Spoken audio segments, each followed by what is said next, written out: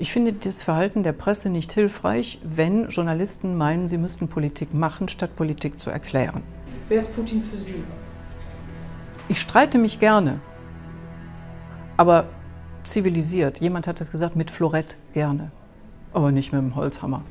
Äh, ich bin Gott sei Dank so erzogen worden von meinen Eltern, dass das, was ich herausgefunden habe, richtig ernsthaft, nicht nur so, dass ich dazu auch stehen soll auch wenn alle anderen drumherum etwas anderes meinen, wenn man ähm, intelligent, sinnvoll, angemessen handelt oder handeln will, dann muss man vorher erstmal was verstehen, aber nicht den Mund halten. Dann überlässt man die richtigen Themen den falschen Leuten.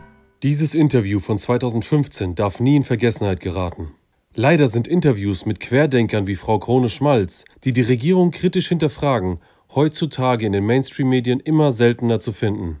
Es scheint, dass es nicht mehr gewollt ist, die Meinung von Andersdenkenden zu hören, was bedauerlich ist. Stattdessen werden wir heute oft nur noch mit einem Einheitsbrei und gleichgeschalteten Medien konfrontiert. Frau Kronschmalz, Sie werden betitelt hauptsächlich mit äh, Putin-Versteherin. Ähm, wie sehen Sie sich selbst in dieser Rolle? Ich finde es zunächst mal merkwürdig, diese semantische Umwidmung des Be Begriffes Verstehen, so in großen Teilen der veröffentlichten Meinung. Ähm, ich habe folgendes Verständnis von Verstehen. Das hat nichts mit Verständnis für zu tun, sondern äh, es hat damit zu tun, dass man etwas versteht überhaupt. Weil ich denke, wenn man ähm, intelligent, sinnvoll, angemessen handelt oder handeln will, dann muss man vorher erstmal was verstehen. Warum ist die Debatte so emotional?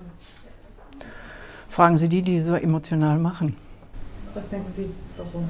Es ist total aufgeheizt. Ich finde es unangebracht. Ich finde es auch gefährlich. Und ich habe in meinem Buch versucht, ohne Schaum vor Mund einfach mal Zusammenhänge klarzumachen und wirklich darauf Wert zu legen, dass man Hintergründe und Zusammenhänge so versteht, ähm, dass man nicht Verständnis dafür hat. Ich habe auch überhaupt keine, äh, keine Ambition, irgendetwas rechtfertigen zu wollen. Aber ich muss verstehen, was Sache ist, damit ich vernünftig handeln kann. Sonst mache ich Fehler. Ist der Putin so eine Reizfigur, dass das entsteht? Ja, offensichtlich. Äh, das ist ja auch äh, meine These. Wenn man ihn in seiner ersten Amtszeit ernst genommen hätte, mit seinen wirklich Signalen in Serie Richtung Westen, äh, dann hätten wir uns möglicherweise viele Situationen sparen können. Aber der Fehler war, man hat ihn nur als KGB-Funktionär wahrgenommen und nicht darauf geguckt, was er politisch machte. Und das war in der ersten Amtszeit hoch ambitioniert und sehr positiv Richtung Westen. Da ist jetzt nichts mehr von übrig. Es kam ja von, von Putin, es kam von Moskau in seiner ersten Amtszeit sozusagen die vertrauensvolle Hand. Ja, wenn Sie sich erinnern an die Rede, die er im Bundestag gehalten hat, äh, wie viel, wie viel Offenheit, wie viel Ehrlichkeit, ja, wie viel Offenheit da auch zutage kam. Da gab es stehende Ovationen im Bundestag. Aber ernst genommen hat man das im Endeffekt dann nicht auch die, die Vorstellungen, einen gemeinsamen Wirtschaftsraum zu machen, eine gemeinsame Sicherheitsarchitektur aufzubauen, das wäre sinnvoll gewesen nach dem Zerfall der Sowjetunion und nachdem Deutschland zusammengewachsen ist. Weil da war die sicherheitspolitische Lage natürlich eine etwas andere als vorher. Warum ist der Westen so, tut er sich so schwer zu begreifen? Gutes Forschungsthema. Es läuft auf Interessen hinaus, denke ich die man benennen muss und denen man nicht humanitäre Deckmäntelchen umhängen darf, damit sie besser aussehen. Es hängt mit Relikten aus dem Kalten Krieg zusammen, ganz sicher. Die sind nicht so schnell weg, die Feindbilder. Und es hängt, fürchte ich, auch mit strukturellen Veränderungen im Journalismus zusammen. Es muss alles immer schneller gehen, es darf nichts kosten und der Mainstream zieht und zofft. Das hat nur mit, mit, mit Themen oder mit Ernsthaftigkeit und mit verantwortungsvoller Berichterstattung nicht mehr viel zu tun. Mhm. Was würden Sie sagen, was unterscheidet Sie ganz persönlich in diesem Zusammenhang von vielen anderen Kollegen, die anders arbeiten? Ich traue mich. Und ich bin frei. Und die anderen trauen sich nicht oder wollen sich nicht trauen? Oder? Das kann ich nicht sagen, aber ich weiß, warum ich so arbeite. Äh, ich bin Gott sei Dank so erzogen worden von meinen Eltern, dass das, was ich herausgefunden habe, richtig ernsthaft, nicht nur so, dass ich dazu auch stehen soll, auch wenn alle anderen drumherum etwas anderes meinen und auch dann, wenn die Gefahr besteht, vor falsche Karren gespannt zu werden. Weil das darf einen nicht davon abhalten, Dinge, die man als richtig erkannt hat, auch zu sagen. Man muss nur aufpassen, dass man sich eindeutig unterscheidet, dass man sich distanziert. Aber nicht den Mund halten. Dann überlässt man die richtigen Themen den falschen Leuten. Frau Gabriele Krone-Schmalz hat recht, wenn sie sagt, dass die wichtigen Themen oft den falschen Leuten überlassen werden. Dies trifft insbesondere auf die gegenwärtige politische Landschaft zu. Frau Baerbock, die Deutschland im Ausland vertritt, gehört meiner Ansicht nach definitiv zu den falschen Personen. Unsere Außenministerin könnte viel von ihnen lernen, ebenso wie die gesamte öffentlich-rechtlichen Rundfunkanstalten, die oft als verlängerter Arm der Regierung agieren. Die heutigen Journalisten könnten sowohl von ihnen als auch von Peter Hahne viel lernen. Es beginnt mit einer grundlegenden Haltung, Rückgrat zu zeigen, mutig Nein zu sagen und ehrliche Recherchen durchzuführen, anstatt kontinuierlich Propaganda gegen Andersdenkende und vermeintlich Rechte zu verbreiten. Bei Gorbatschow hat es äh, nur Signale gegeben, die positiv waren. Gorbatschow hat nie auf seine Person Rücksicht genommen. Das hat man ja dann nachher auch gemerkt. Ähm, ich fürchte, es ist Folgendes gelaufen. Der Respekt, den man noch gehabt hat zu Zeiten der Sowjetunion, der ist verloren gegangen. Und man hat äh, Russland dann quasi auf die Verliererstraße geschickt. Das war ja nur noch mehr oder weniger Konkursmasse. Äh, und es ist sehr symptomatisch, wenn Menschen sagen, wir haben den Kalten Krieg gewonnen. Weil ähm, ein kalter Krieg ist nur dann vorbei, wenn sich beide Seiten als Gewinner fühlen dürfen. Sonst ist der Kalte Krieg nicht vorbei. Das merkt man ja jetzt auch. Es hätte nach dem Zusammenbruch der Sowjetunion, quasi zu Gorbatschows Zeiten nach Gorbatschow, hätte es dringend einer neuen Sicherheitsarchitektur bedurft. Und es gab auch viele Menschen, die darauf hingewiesen haben. Das hat sich nur leider politisch nicht durchsetzen können. Und das rächt sich jetzt immens.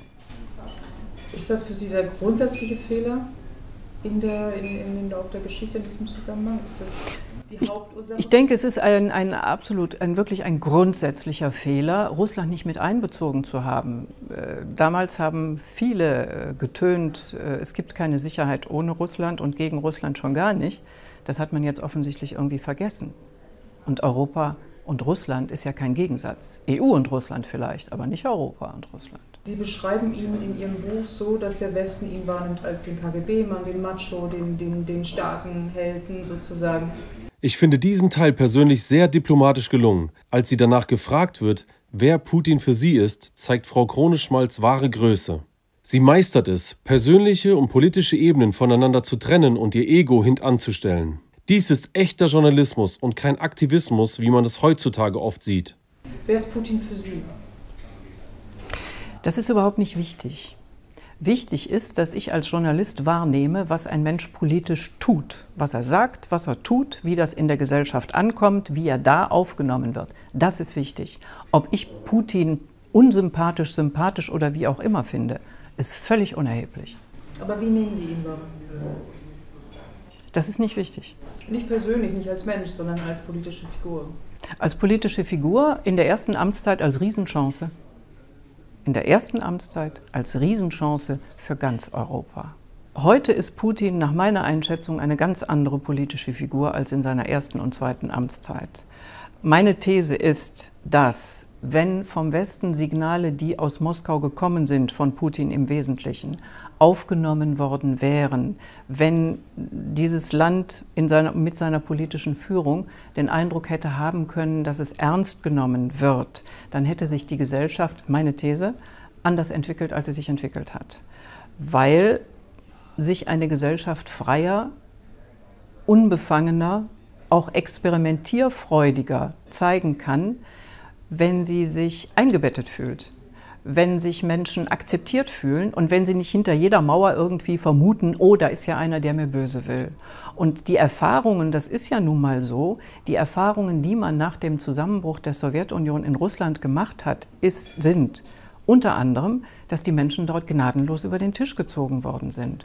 Und es war eine so, so, so spürbare Begeisterung für den Westen und eine so äh, für mich kaum nachvollziehbare Bereitschaft, alles aufzunehmen, was aus dem Westen kommt, auch wenn es sich im Endeffekt für das Leben der Menschen dort negativ ausgewirkt hat, das aufzufangen, das anzunehmen und dabei dann zu helfen und nicht zu gucken, wie man am besten was rauszieht und sie eben nicht ernst zu nehmen, das ist für meine Begriffe der, der, äh, der große menschliche und politische Fehler, der gemacht wurde, vom wirtschaftlichen gar nicht zu reden. Würden Sie sagen, äh, trotz allem, der Kalte Krieg ist vorbei? Das ist immer so eine Frage. Da müsste man jetzt dann definieren, was war der Kalte Krieg, wodurch zeichnet er sich aus, welche Kriterien, was ist jetzt heute. Was ich äh, entscheidend finde, ist, dass man von dieser Konfrontation runterkommt. Es ist ja nur noch Konfrontation. Und diejenigen, die von Kooperation reden, die kriegen sofort so ein Etikett an die Backe, ja, das ist ja Schwäche. Oder man muss jetzt Härte zeigen, eine andere Sprache versteht ja Moskau nicht. Das finde ich, ich versuche gerade es höflich auszudrücken, das ist eigentlich dumm. Sie schreiben in Ihrem Buch, dass die militärische Präsenz auf der Krim äh, zwar dem Völkerrecht widerspricht, gründen das auch, sagen aber trotzdem, es ist keine Annexion. Ist es eine Annexion? Wenn Sie mir das nochmal erklären. das mit der Annexion ist ja fast ein nicht Lieblingsthema geworden, nein. Also wenn man Annexion definiert, Annexion zeichnet sich dadurch aus, dass eine räuberische, gewaltsame Landnahme passiert gegen den Willen der dortigen Bevölkerung. Das ist ja auf der Krim nachweislich nicht der Fall. Selbst diejenigen, die von Annexion reden, die geben ja wenigstens zu, dass die Stimmung auf der Krim so war und ist, wie sie war und ist. Im Übrigen gibt es interessante Zahlen eines unabhängigen amerikanischen Meinungsforschungsinstituts, die das auch belegen. Der Punkt ist, wenn man Annexion benutzt, hat das ja völkerrechtliche Konsequenzen. Denn Annexion ist der einzige, außer äh, Völkermord, der einzige Punkt, der die internationale Gemeinschaft dazu ermächtigt, militärisch einzugreifen. Und wenn Sie gestatten, vielleicht ein Beispiel, wie ich Journalismus verstehe. Wenn in der Politik immer gesagt wird, das Völkerrecht gibt der Krim-Bevölkerung nicht das Recht auf Sezession, dann stimmt das. Aber der Schluss daraus, deshalb ist die Sezession völkerrechtswidrig, der stimmt eben nicht. Denn Sezession kommt im Völkerrecht überhaupt nicht vor. Das hat auch Gründe, die muss man jetzt nicht auseinandernehmen. Unter anderem, weil es dem Selbstbestimmungsrecht widerspricht und das kommt im Völkerrecht vor. Es kommt einfach nicht vor. Dass Politiker so argumentieren, das kann man ja noch nachvollziehen. Aber Journalisten sind dazu da, das nicht nachzuplappern, sondern zu erklären, dass es so nicht ist. Es ist komplizierter. Wie bewerten Sie die Rolle der Presse heute? Wie, verhalt, wie, verhält sich die Presse insgesamt? Ich finde das Verhalten der Presse nicht hilfreich, wenn Journalisten meinen, sie müssten Politik machen, statt Politik zu erklären. Ich finde Journalismus und Medien nicht hilfreich, wenn von vornherein Etiketten verteilt werden, das ist gut und das ist böse. Das hilft ja nicht. Denn wir wollen ja nicht äh, in den Geruch kommen, eine Art von Presse zu betreiben, die wir anderen vorwerfen. Noch ein Wort zu Nemzer vielleicht. Ähm was war Ihre erste Reaktion, als Sie es gehört haben? Wer benutzt das wie für welche Seite? Ehrlich, meine erste Reaktion, oh Gott, und das in der Situation, jeder wird ihn instrumentalisieren. Also insgesamt äh, äh, ist für mich tatsächlich besorgniserregend, dass so ein Begriff wie Verstehen so eine Umdeutung erfährt. Ähm, und dass es wirklich relativ wenig Menschen gibt, die darauf hinweisen, also Verstehen hat ja nichts mit Verständnis zu tun, Verständnis für, sondern etwas verstehen. Und wenn das als negatives Etikett für journalistische Arbeit betrachtet wird, oh Hilfe, also das hatte ich von unserer Gesellschaft nicht erwartet. Haben Sie eine Vorstellung, warum das so ist? Oder die, die Gute Frage. Wahrscheinlich eine Gemengelage aus allem Möglichen. Keine Ahnung. Aber sicher kein gutes Zeichen für den Zustand einer Gesellschaft. Was Zivilcourage angeht, was Unabhängigkeit angeht, was Querdenken angeht. Ich streite mich gerne, aber zivilisiert. Jemand hat das gesagt, mit Florett gerne, aber nicht mit dem Holzhammer. Schönes Schlusswort, vielen Dank. Gut. In letzter Zeit stoße ich immer häufiger auf YouTube und TikTok-Kanäle, wo Deutsche oder auch Russlanddeutsche von ihrer Auswanderung nach Russland berichten. Von Singles, Pärchen oder gar ganze Familien ist alles vertreten. Selbst Unternehmen wandern dorthin aus. Teilweise erzählen sie amüsant und mit einem Funken Sarkasmus, wie es ihnen dort geht und wie es sich anfühlt, Deutschland hinter sich zu lassen und in dem bösen Russland zu leben. Denn laut unseren Medien gibt es kaum etwas Schlimmeres wie den angeblichen Diktator Putin und Russland. Von der aus meiner Sicht einseitigen Berichterstattung fange ich erst gar nicht an. Wir müssen Putin ja mit Sanktionen bestrafen, was ihm und Russland keineswegs schadet.